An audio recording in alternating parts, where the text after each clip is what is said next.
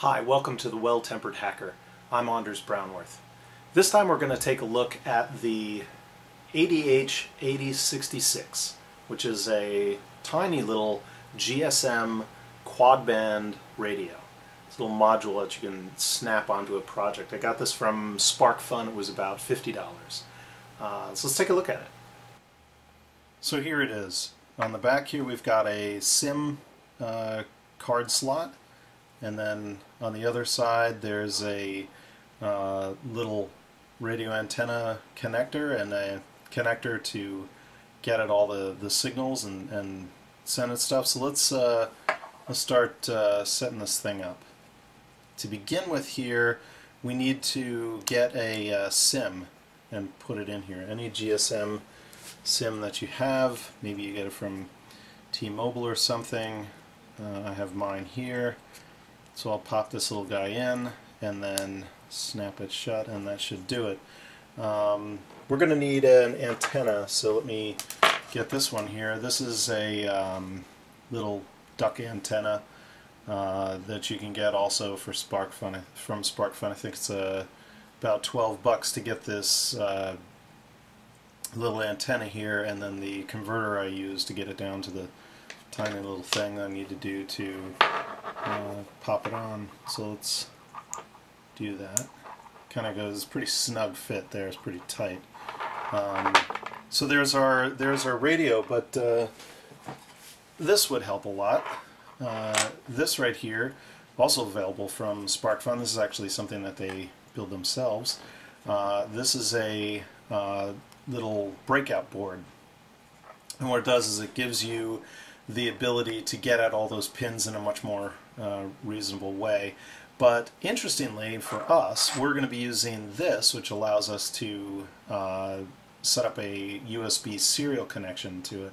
And uh, the uh, there you can actually add some more power in if there's not enough on your serial bus, which there undoubtedly is not, um, in order to make the uh, radio board transmit as powerful as it's going to be. So we'll see if we can figure out how to get this thing put together, kind of line it up, get all the little pins in, and then snap it in there. Kind of sits pretty snug. You want to make sure you got the uh, little um, uh, radiation shield pins sticking through the uh, the bottom of it. Um, and that's pretty much all you need to do. Uh, we're going to give it some power and some USB and, and start it right up. So here we have the device and I'm going to feed it some USB. You'll see it fires up and a little bit of receive and transmit lights blink. I'm also going to give it uh, 12 volts so the transmitter has enough power here to go. Um, we'll move over here to the uh, uh, shell and we'll run a, a, little modem program here on this USB port and notice we don't have anything. So if I press this key, give it a little hold down for a second, there we go, we see some device and then we say we see ready. This thing works just like a typical uh, old modem of, of uh, years gone by. You can send it AT commands like that uh, and you get responses. And what the radio is doing right now, and it just happened there, is registering on the network. Uh, so we can see it's uh, registered as 5, which happens to mean a uh, roaming. So uh, this device is uh, supposedly all set up to go. So let's see what's going on. Let's say AT plus CPIN question mark, and this is going to check the SIM card status. So the SIM card looks ready to go. So AT plus CS Q, and this is going to tell us the signal quality. It's 22 there. You can see uh, uh, the first value here is 22. That 22, is, as long as that's between 2 and 30 uh, or so, or, or a little higher, 31, is uh, you're going to have enough signal there to do something. I would, I would guess this is maybe about uh, negative 70 dBm or so. Something like this. So as you might uh, uh, guess, you can make phone calls with this thing. So can, we're going to say dial, ATD,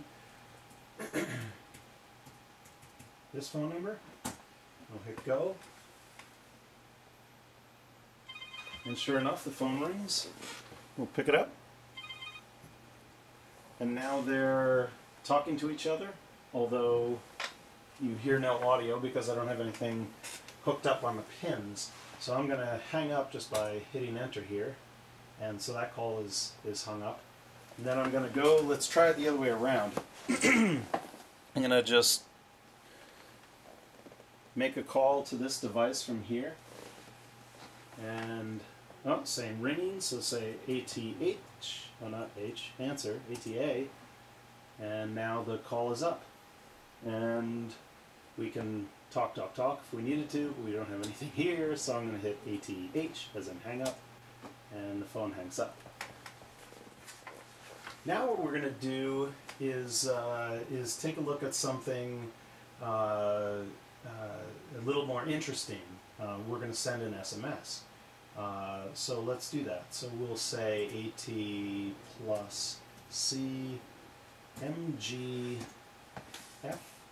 and our message, this is going to set our message type. I'm going to set it to 1, which means text. Uh, and then I'm going to say AT plus C MG S as in send. And then I'm going to say 212 555 555.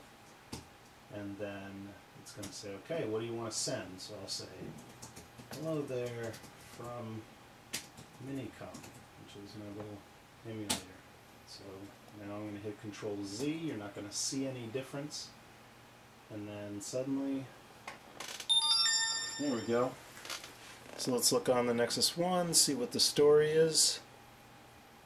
And sure enough, we got a message here. And it says, hello there from Minicom. Kind of hard to see maybe. Um, so it seems like it worked.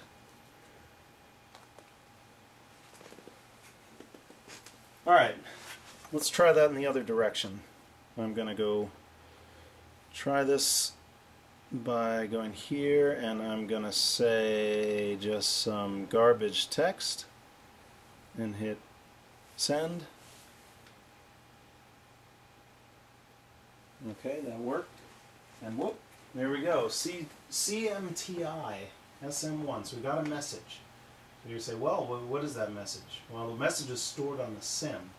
So what we need to do is say AT plus C MG equals all. So I'm going to list, this is message list, all. And uh, it didn't work because I did that wrong. AT plus CMGL uh, equals all with a real quote at the end. And uh, have to do that in caps. CMGL equals all. Try that. And there it is, Nexus 1. There's an unread message, and there's that gobbledygook I, I typed out right there. Uh, so what I can do is, uh, you know, normally we would process this message, maybe throw it in a uh, local database or whatever, and then we'll, we're going to delete it from the SIM. So I'm going to say A T C and G delete equals 1, as in the first message, because this is message 1 right here. We can have more than one message all at the same time. So it's going to say OK. Now the next thing we could do is we could set up a uh, GPRS uh, radio and uh, connection and do some TCP and UDP over it um, but as I don't have anything more than just this little terminal, terminal emulator here, it's not going to be very interesting. But there is a TCP stack on this device. Uh, so I'll leave that as a, uh, a little project for you to take on if you're interested. Uh, all in all, it's about 100 bucks from SparkFun, um, and uh, it's a lot of fun to play around with. And that's about it for this time on A Well-Tempered Hacker. I'm Anders Brownworth, and we'll see you next time. Keep hacking.